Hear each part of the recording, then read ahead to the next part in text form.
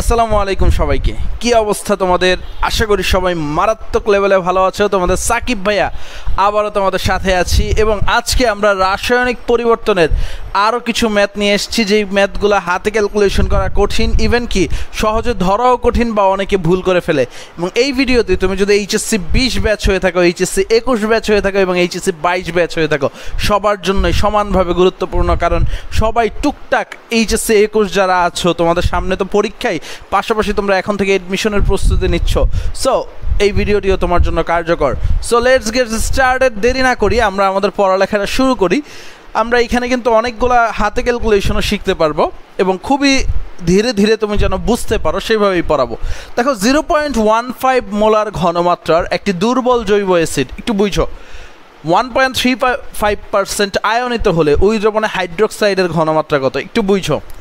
একটা ঘনমাত্রা দেওয়া আছে কার? অ্যাসিডের ঘনমাত্রা, অর্থাৎ এই ঘনমাত্রাটা হাইড্রোজেন আয়নের ঘনমাত্রা। এটা তোমাকে বুঝতে হবে। কারণ অ্যাসিডের ঘনমাত্রা মানে কি? হাইড্রোজেন আয়নের ঘনমাত্রা। একটি দুর্বল জৈব অ্যাসিড, পানিতে এত পার্সেন্ট আয়নিত হয়, অর্থাৎ one point three five percent আয়নিত হয়, এটা হচ্ছে আলফা। আচ্ছা। হলে ওই দ্রবণে হাইড্রোক্সাইডের ঘনমাত্রা কত? তো হাইড্রোক্সাইডের ঘনমাত্রা যদি আমাদের বের করতে হয়, তাহলে আমাদেরকে কয়েকটা প্রসেসের ভিতরে যাইতে হবে। আমরা প্রথমত দেখব হচ্ছে, আমরা জানি হাইড্রোজেন আয়নের ঘনমাত্রাটা যদি বের করতে চাই একটু বুঝো।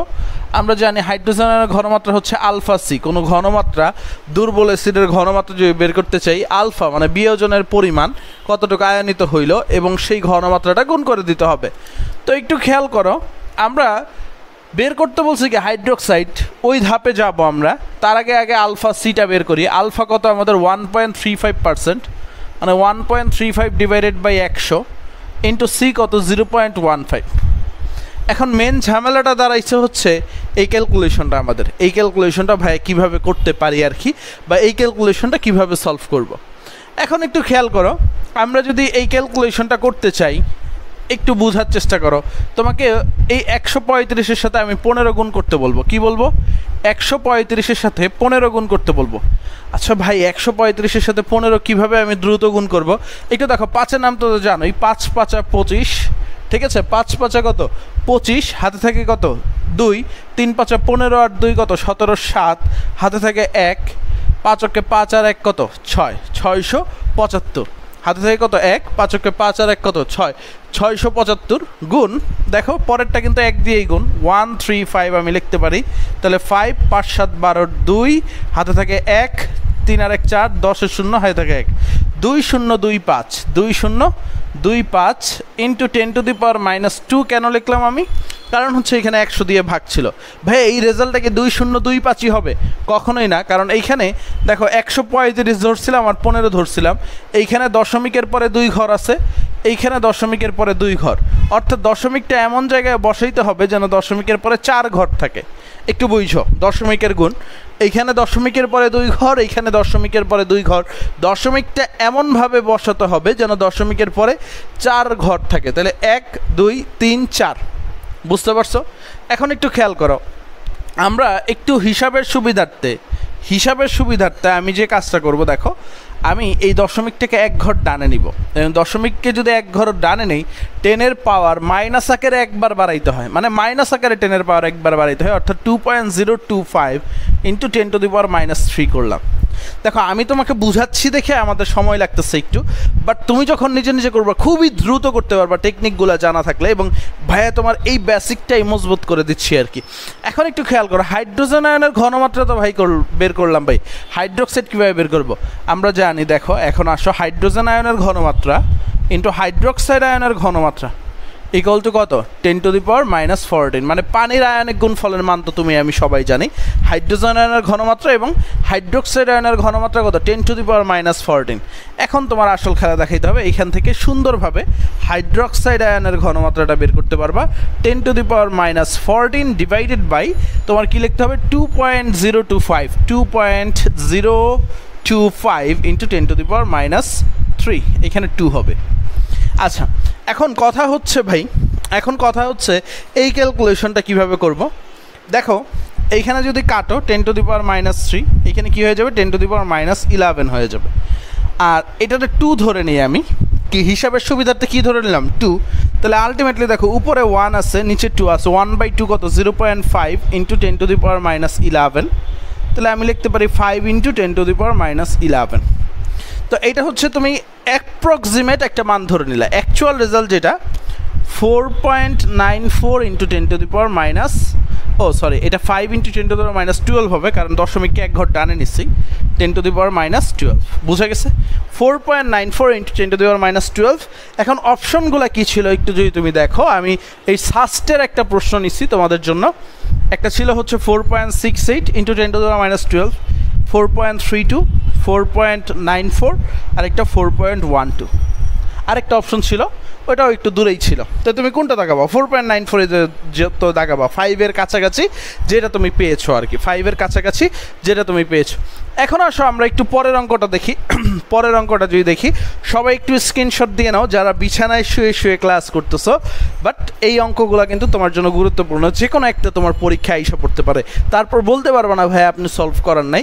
ইনশাল্লাহ, তুমি যদি আমার সবগুলো সলভ ক্লাস দেখো, এইখান থেকেই তোমার সব ভার্সিতে ভাইয়া যা প্রেডিক্ট করি, সব এসে পড়বে। এবং ভাইয়া, তো চ্যাপ্টার বাই চ্যাপ্টারই যাচ্ছি তোমাদের জন্য। রাসায়নিক পরিবর্তন, তারপরে হচ্ছে পরিমাণগত রসায়ন নিয়ে আসব। তারপরে তোমরা যা যা কমেন্টে জানাইছো, অনেকেই কমেন্টে জানাচ্ছ। এবং যারা এখনও কমেন্টে জানাও নাই, জানাইতে পারো।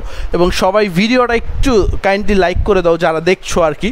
কারণ লাইক করলে তোমার বন্ধুদের মাঝে ছড়াবে ভিডিওটা। পরবর্তী ম্যাটটা দেখি। সোডিয়াম হাইড্রোক্সাইডের জলীয় দ্রবণ মানে জিরো পয়েন্ট ওয়ান পার্সেন্ট জলীয় দ্রবণের পিএইচ কত? এখন এই জিরো পয়েন্ট ওয়ান পার্সেন্টে হাইড্রোক্সাইড আয়নের ঘনমাত্রা বের করতে হবে। যেহেতু সোডিয়াম হাইড্রোক্সাইড কী করতে হবে? হাইড্রোক্সাইড আয়নের ঘনমাত্রাটা বের করতে হবে।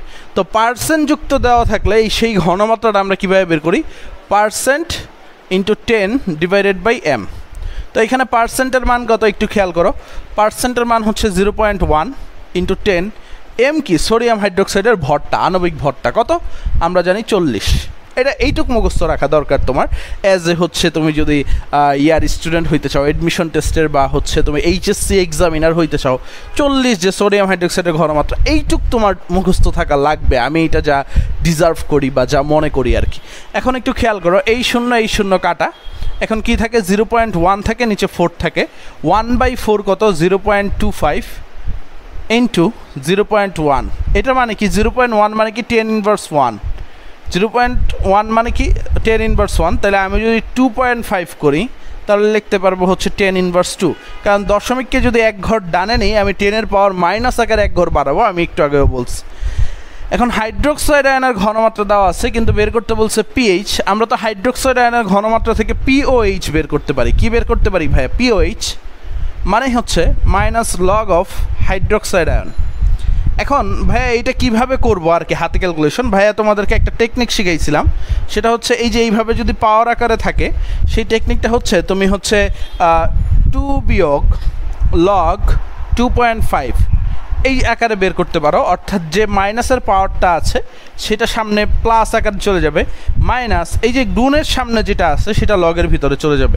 মানে হচ্ছে four into ten to the power minus three যদি থাকে, তাহলে তুমি কী লিখবা? এই যে পাওয়ারটা যেটা আছে থ্রি বিয়োগ লক ফোর যদি থাকে three point four into ten to the power minus one one বিয়োগ লক থ্রি পয়েন্ট ফোর আশা করি টেকনিকটা বুঝাইতে পারছি। তুমি একটু খাতায় লিখে রিলেট করব আর কি। এখন লক টু পয়েন্ট ফাইভের মান তো জানি না। জানি না তো কী হয়েছে দেখো লক টু এর মান তো জানি তুমি আমি। লক টু এর মান কত? Zero point three log three এর মান কত? জিরো পয়েন্ট ফোর তাইলে লক এর মান কত? এই দুইটা মানের মধ্যবর্তী একটা মান। লক টু পয়েন্ট ফাইভ কত হবে? তাহলে জিরো পয়েন্ট থ্রি ফাইভের কাছাকাছি একটা কোনো মান হবে। তো তুমি কি করো? তুমি কি করো? দেখো, এখানে একটু গেঞ্জি হয়ে গেছে, ভাই, একটু মুছে দেয় তুমি কি লিখবা? টু বিয়োগ লক টু পয়েন্ট ফাইভের মান কত লিখবে? জিরো পয়েন্ট থ্রি ফাইভ তাহলে তোমার রেজাল্টটা কত আসবে? ওয়ান পয়েন্ট সিক্স ফাইভ এটা হচ্ছে পিওএইচের মান, ভাইয়া। কিসের মান? পিওএইচের মান। কিন্তু তোমার প্রশ্নে কি চাইছে? পিএইচ তোমার প্রশ্নে কি চাইছে, ভাইয়া? পিএইচ চাইছে। সো তোমাকে যদি পিএইচ বের করতে বলে, তাহলে তুমি কি করবা? পিএইচ ইকল টু তুমি জানো pH plus pOH equal to কত? ফরটিন জানি কি না আমরা? আচ্ছা তাইলে pH equal to fourteen minus pOH fine fourteen minus পিওএইচের মান কত পাইলে? One point six five one point six five তো উত্তর কত? উত্তর কত? উত্তর অবশ্যই তোমার হওয়ার কথা twelve point three five twelve point three five কেন ভাইয়া একটু খেয়াল করো। টুয়েলভ পয়েন্ট থ্রি ফাইভের সাথে পয়েন্ট সিক্স ফাইভ যোগ করলে তেরো, আর আরও এক যোগ করলে চোদ্দ, বোঝা গেছে? এই ক্যালকুলেশনে আমরা অনেকে এগারো দশমিক তিন পাঁচ লিখি বা তেরো দশমিক তিন পাঁচ লিখি। এই যোগ বিয়োগে আমরা যে এত বড় হয়ে গেছি, তারপর আমরা যোগ বিয়োগে ভুল করি। তো তোমাদের জন্য একটা অ্যানাউন্সমেন্ট আছে আর কি। অ্যানাউন্সমেন্টটা হচ্ছে, আমি তো সব শেষ করে দিব তার আগে, একটু প্রচারণামূলক আর কি। তোমরা জানো ভাইয়ের অনেকগুলা ব্যাচ আছে আর কি। একটা হচ্ছে কেমিস্ট্রি টার্গেট ব্যাচ আরেকটা হচ্ছে ফিজিক্স টার্গেট ব্যাচ এই টার্গেট ব্যাচগুলোতে কী পড়ানো হয় মূলত? এখানে তুমি টোটাল পঁয়ষট্টিটা ক্লাস পাবা কেমিস্ট্রি এবং ফিজিক্স মিলিয়ে। এবং এই পঁয়ষট্টিটা ক্লাসে তোমার হচ্ছে পুরা ফিজিক্স এবং কেমিস্ট্রির যতগুলা চ্যাপ্টার আছে, সবগুলা চ্যাপ্টার তোমার হচ্ছে এডমিশনের জন্য প্রস্তুত করে দেওয়া হবে। কারণ একুশ ব্যাচ যারা আছো, তোমাদের জন্য এই ব্যাচটা খুবই গুরুত্বপূর্ণ, কারণ তোমরা জানো না আদৌ তোমাদের পরীক্ষাটা শর্ট সিলেবাসে হবে না ফুল সিলেবাসে হবে। ধরো শর্ট সিলেবাসেই তোমার পরীক্ষাটা হইল বাট কিন্তু ফুল সিলেবাস পড়া থাকলে কিন্তু লস নাই আর কি। এবং ভাইয়াজি ভাইয়া পড়াই একটা জিনিসও তোমার মুখস্থ করা লাগবে না। হচ্ছে chemistry target batch and physics target batch R chemistry R physics question bank solving class যেগুলো আছে আমাদের কেমিস্ট্রি অ্যান্ড ফিজিক্স প্রশ্ন ব্যাংক সলভিং ক্লাস যেগুলো আছে, সেখানে টাইপ বাই টাইপ প্রত্যেকটা চ্যাপ্টারের প্রশ্নগুলো সলভ করে দেওয়া হয়। এবং এক একটা ক্লাস ডিউরেশন তুমি জানতে চাও, যদি প্রশ্ন ব্যাংক সলভিং আর এইখানে তো আমি চারটা প্রশ্ন সলভ করে দিচ্ছি তোমাদেরকে। একটা ক্লাস ওইখানে মিনিমাম পঞ্চাশটা করে প্রশ্ন সলভ করে দেওয়া হয়, এবং ক্লাসগুলো রেকর্ড করে আপলোড করা হয়। এবং এইখানে তুমি কেমিস্ট্রির পঁচিশটা ক্লাস ফিজিক্সের পঁচিশটা ক্লাসে পুরো ফুল কেমিস্ট্রি বই সলভ করে দেওয়া হবে। তারপর অর্গানিক কেমিস্ট্রি টার্গেট ব্যাচ আছে আমাদের। অর্গানিক কেমিস্ট্রি টার্গেট ব্যাচে তুমি পনেরোটা ক্লাস পাবা এবং এই পনেরোটা ক্লাসে তোমার অর্গানিকের একদম পুরো জিস্ট তুমি বুঝে যাবে। মানে গল্পে গল্পে যে পুরোটা অর্গানিক মুখস্থ করা যায়, সেই জিনিসটা তোমার মাথায় আসবে। এবং আমাদের চারটা সাবজেক্টেরই ফিজিক্স কেমিস্ট্রি ম্যাথ বায়োলজি চারটা সাবজেক্টেরই এক্সাম ব্যাচ আছে এবং কম্বাইন্ড বা কম্বো প্যাকেজটা যেটা, সেটা হচ্ছে মাত্র এক হাজার বিশ টাকা। একশোটা এক্সাম পাবা তুমি, একশোটা। So this is a huge deal এবং এটার প্রাইসগুলোও দেখতেছো। Chemistry target batch physics target batch তিন হাজার ষাট টাকা করে আর কি। তুমি যদি ভর্তি হইতে চাও, ভর্তি হইতে পারবা। কারণ হচ্ছে প্রায় এখানে সাতশো স্টুডেন্ট অলরেডি অ্যাডমিটেড তারপর হচ্ছে কোয়েশন ব্যাংক সলভিং কোর্স যেটা আছে সেখানে সেটা হচ্ছে পার কোয়েশন ব্যাংক এক হাজার বিশ টাকা করে। ইজিলি ভর্তি হইতে পারবা আর অর্গানিক কেমিস্ট্রি টার্গেট ব্যাচ হচ্ছে এক হাজার বিশ টাকা করে। এখন কেউ যদি ভর্তি হইতে চাও, অনেকে প্রশ্ন করো, ভাইয়া, আমি তো ভর্তি হইতে চাই আর কি। এখন কীভাবে ভর্তি হব? এই যে এই নাম্বারটা একটি স্ক্রিনশট দিয়ে নাও zero one eight six five four three two double nine seven এই নাম্বারটা হচ্ছে আমার হটলাইন আর কি। এইখানে যে কোনো সময় তুমি যদি ফোন দাও, তাহলে পাবা। এবং এই নাম্বারেই হচ্ছে তুমি যদি টাকাটা বিকাশ করে আমার ফেসবুক আইডিতে মেসেজ দাও। এখন অনেকে বলে, আইডি কোথায় পাবো? আমার ডেসক্রিপশন বক্সে আমার পেজের লিঙ্ক আমার যে গ্রুপে ফ্রি ক্লাস হয়, সেই গ্রুপের লিঙ্ক ইভেন কি, মনে করো আমার কন্ট্যাক্ট নাম্বার সব কিছুই দেওয়া আছে আর কি। তুমি হচ্ছে জাস্ট হচ্ছে ওইখানে লিঙ্কে ঢুকে আমাকে মেসেজ দিলে অলওয়েজ আমার সাথে কানেক্ট হতে পারবে আর কি। আর যারা আমার ফ্রি ক্লাস করতে চাও আর কি লং টাইম এক ঘণ্টা, দেড় ঘণ্টা আমার পেজে একটা লাইক দিয়ে রাখো বা ফলো দিয়ে রাখো পেজে হচ্ছে ফ্রি ক্লাসগুলো পাবা আর গ্রুপেও ফ্রি ক্লাসগুলো পাবা আর কি। তো গ্রুপ এবং পেজের লিঙ্ক সব কিছুই দেওয়া আছে ডিসক্রিপশন বক্সে পরের প্রশ্নটা যাই। একটি বাফার দ্রবণ zero point two mole monobasic acid এবং zero point zero two mole অ্যাসিডের লবণ আছে। এর পিএইচের মান কত? এখন বাফার দ্রবণের পিএইচের সূত্রটা কি? PH equal to pK plus log of সল্টের concentration divided by কি? অ্যাসিডের কনসেন্ট্রেশন তাই তো ভাইয়া? এটা তো আমরা জানি হ্যাঁ? বাফার দ্রবণের পিএইচের সংকেত কি? পিএইচের সূত্রটা pH equal to pK plus এখানে আমাদের পিকে এর মানটা হচ্ছে দেওয়া ছিল আর কি ফোর পয়েন্ট এইট ছিল আর কি, প্রশ্নে আসে নাই। PK four point eight pK এর মান দেওয়া ছিল ফোর পয়েন্ট এইট আচ্ছা তোমরা একটু তুলে নাও। পিএইচ এর মান কত? এখন, এই সল্ট এই অ্যাসিড এটা জাস্ট বসাবো বাট আমরা অনেকে ভয় পাই হাতে ক্যালকুলেশন কীভাবে করব, দেখো। পিকে কত? Four point eight plus log of salt কত? সল্ট হচ্ছে zero point zero two zero point zero two আর অ্যাসিড কত আমাদের? জিরো পয়েন্ট টু মল আচ্ছা এখন জিরো পয়েন্ট জিরো টু আর জিরো পয়েন্ট টু যদি তুমি কাটাকাটি করো আর কি জিরো পয়েন্ট টু বড়, এটা কাটলে নিচে দশ পাবো আর কি লগ ওয়ান বাই টেন মানে four point eight plus log ten inverse one তো আমরা জানি লগ টেনের মান ওয়ান এই ইনভার্সটা সামনে এসে পড়বে। অর্থাৎ আমি লিখতে পারি four point eight plus minus one into log ten মানে এই পাওয়ারটা সামনে এসে পড়ছে। লক টেনের মান কত? ওয়ান তাহলে four point eight minus one আমি লিখতে পারি আলটিমেটলি রেজাল্ট কত? আমাদের থ্রি পয়েন্ট এইট একেবারে সিম্পলেস্ট ওয়েতে আমরা রেজাল্টটা বের করে ফেলেছি। পরের ম্যাটটা যদি দেখি, পরের ম্যাটটা আরও গুরুত্বপূর্ণ, অনেকেই ভুল করে এবং অনেকেই ঘাবড়ায় যায় how can we solve this math এবং যারা শেষ পর্যন্ত দেখতেছো, তারা আসলে লাকি তারা আসলেই লাকি কারণ হচ্ছে শেষ ম্যাথটা আসলেই একটা বিন্দাস ম্যাথ এবং আমার one of the favourite math X O Y দুটি জড়ীয় দ্রবণে পি ও মান যথাক্রমে আট এবং এগারো। দেখো এক্সের কী দেওয়া আছে? পি ও এইচ দেওয়া আছে আট।